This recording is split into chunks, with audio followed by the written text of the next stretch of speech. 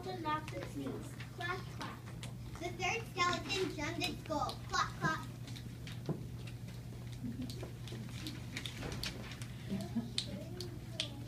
The fourth skeleton tapped along its ribs a little.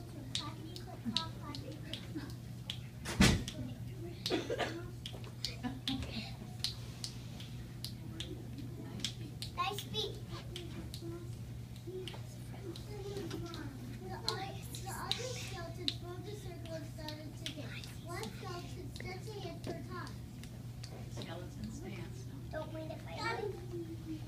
Just a cone of two bloody hands that danced and circle around the hall.